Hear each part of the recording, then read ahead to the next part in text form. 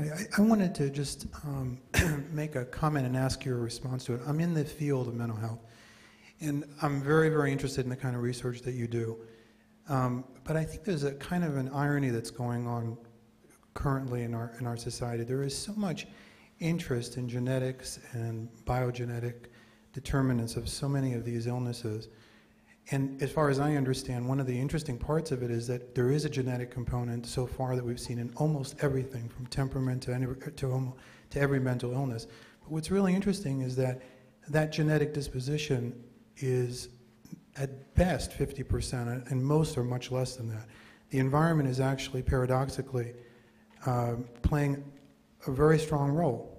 And what I, what I think is a little bit concerning to me is that I rarely hear about what we can do to bring a consciousness around the environmental factors. I'll give you an example. When I think about, for example, young children in school, there are very, very few programs that really educate children about uh, the impact of empathy, learning how to be empathic, learning the impact of empathy in terms of wellness and mental health, um, who help children understand that one of the things that drugs and alcohol do are often treat an underlying anxiety disorder, that they're anxiolytics, and helping them understand that drugs and alcohol can be a problem because they're really dealing with anxiety and they can become addictive for that reason. It, it's kind of remarkable how much we're not doing in terms of really addressing the environmental issues. And I just wonder what your thoughts are, you know, as someone who's really focused on the biogenetics uh, and the structural part of the brain, are we at really, are we at a point where we're actually making a mistake to really look at the 50 to 75% of the variance, which seems to still indicate is very environmental?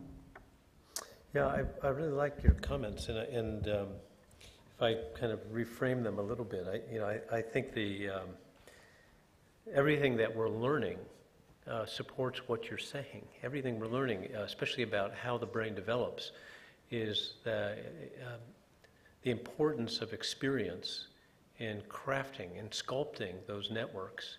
Uh, some of that is hardwired, but uh, at the most molecular level, it's not. So um, there's a need to explore that. There is, uh, in the way that we think about it now, and if I had to sort of pinpoint an area for the next uh, two or three years where I think there'll be the most um, important innovation and the most important uh, set of discoveries, it's very much in this interaction between um, the environment and biology. There's a term for it now called epigenetics, which gives you actually the tools you need to be able to um, look at how the environment is changing those networks and how the environment is having this impact. But what you're saying about, you know, we don't really need that. You don't need to see an epigenetic modification to be able to to know that it may be helpful to teach empathy to children, right?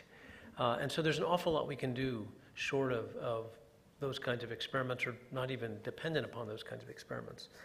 The one place where I think I'd probably um, part ways with where you're going, and it's, I think, an important distinction to make, is that um, there are some very important things we can do to uh, reduce um, conduct problems, to reduce problems with um, even maybe with mood disorders and with anxiety.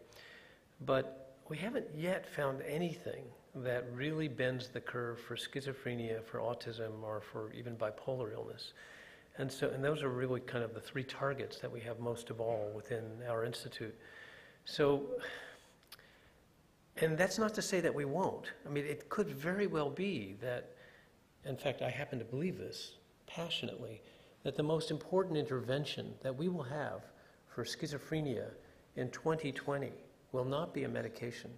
It will be something that we now call cognitive remediation. It will be uh, developing a video game for a seven year old that causes their frontal cortex to, to rewire in such a way that they don't become psychotic when they're 19. We think that schizophrenia begins at birth, and we think psychosis is the, the last stage of it. So, to go back to this Tucson story, if you had had a way of knowing that this was a seven year old who was on that path, and how we would do that is another difficult public health question. Uh, it could be that, it's, you know, it's not that you want to put this kid on an antipsychotic medication because he's not psychotic, but what you want to do is to give him the sorts of tools and give his family the sorts of tools and his school the sorts of tools that they would need to make sure that he doesn't become psychotic. Or if he does, it's after he's married and has three kids and has already finished graduate school and has an occupation, so he has a better context in which that happens. So I think that's the future. And uh, so, in that sense, I'm agreeing with you. I must say, we don't yet know how to do that, but that's all the more reason, as Kennedy said, you know, you do it because it's hard, not because it's easy. You have to, those are really the kinds of things that we ought to be working on. And, and um, I think actually this whole business about understanding brain development and understanding brain pathways is a way to get us there, get us focused on that, because that's probably going to give us the clues about what those different kinds of cognitive games will have to be to be able to rewire and to get uh, healthy development. Adina, want to wait for the mic? Can you bring it up?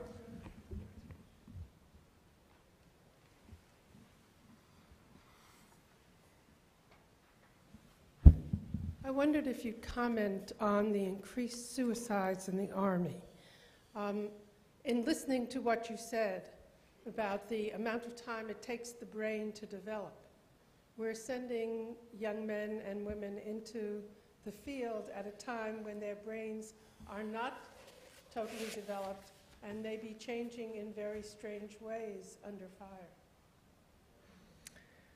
It's a tough question, isn't it? We, we don't know actually what the, what the drivers are completely. We're looking at this very carefully with the Army because they're trying to figure it out. There are lots of ideas and lots of theories, and, and you know the extent to which this is due to someone's exposure to combat, which is what all of us assumed. I mean, I went into this project saying, "Oh, come on, you know, you deploy people three times to Afghanistan or Iraq. How can you be surprised? If you've read David Finkel's book that got um, you know, Pulitzer Prize called Good Soldiers, after you read that, you think, why doesn't everybody in the Army have PTSD? This is such a traumatic experience. It's not that simple. It turns out that um, about 71% of the suicides are in the first year before they're deployed. So we're not sure what's going on. We think part of it is the possibility that some of these soldiers um, were recruited uh, who would not maybe have been recruited in years past. And we're seeing uh, soldiers who have a mental health history, which would have kept them out of the Army in 2001 or 2002. Uh, but the demands of running two wars and now having so many different active theaters uh, and the and the workforce problem where there's no draft, they have got to bring in soldiers. And um, I, one of the things the Army's done is they've created what they've called a waiver system. So there are more waivers than they've ever had before. So that's a question, and we- we're, we're looking into it. But uh, it's a scientific question still in search of the real data. We don't yet know exactly what the driver is. Um, Let me uh, see if I can just pose perhaps two questions here relating to the um, Tucson incident. Uh, We know that the, uh, the shooter was identified with having mental illness uh, a long time ago and, you know, behavioral issues that showed up in any number of phases of his life. Uh, You talked about two to three million people with untreated, I think that was the number you used, uh, untreated mental illness. What, what do you think represents a fair uh, action in terms of intercepting these individuals that respects civil rights and yet takes into need the needs of society? Is that's my first question. Second one, hopefully, That's little. easy. Oh, good.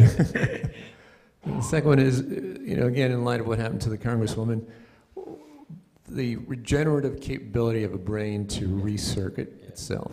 Thank you. Yeah, so um, on the first question, I, you know, I'm going to throw that back at the group. I think this is a, a question for society to grapple with. How do you find the right balance between public safety and individual rights? And uh, we've always struggled with this. There's no simple answer to it, and I, but I think you can't duck it. Uh, and what happened last week raises this question again. Uh, you know, we want to protect the rights of people who may be eccentric and different. Uh, and we're not very good, well, strike that, we're not good at all at being able to predict who's going to be violent. But we know that if someone has a serious mental illness, particularly a paranoid illness, uh, like paranoid schizophrenia, and they're not treated, that they're at a higher risk, a much higher risk for being violent. But those are the very people who don't want to come into treatment, may not realize that they even have a problem. That's part of having this illness. And at what point do you incarcerate, or at what point do you involuntarily uh, treat them? Is is a tough question that I think we're always struggling with, and we different states have done this in different ways. Um, and um, we, I don't think anybody has found quite the right um, balance, but it's something that is a great uh, area of public discourse. On the, on the question of, uh, you know, what we can expect from the Congresswoman, uh, it's really a tough call. I will, I think the, uh, her brain at her age is not going to rewire uh, nearly as much as it would have if the same thing had happened to a two-year-old or um, uh, someone at a very early stage of brain development. But um, you, you simply can't predict uh, easily, um, and I haven't actually even seen good diagrams of what the lesion is, but it is quite possible that she can recover an enormous amount of function.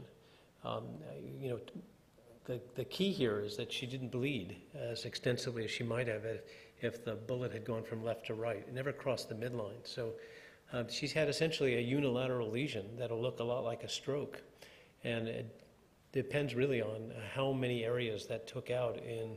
Uh, but what always shocks people who don't deal with uh, human brain anatomy is you can destroy a lot of uh, brain territory uh, you can take away a lot of the geography and still not see much of, a, of an impact in an adult. So it's the only way to know is uh, on an individual basis, and you'll you'll know in probably about four to six weeks as they begin. She recovers function. You begin to see how far she'll go.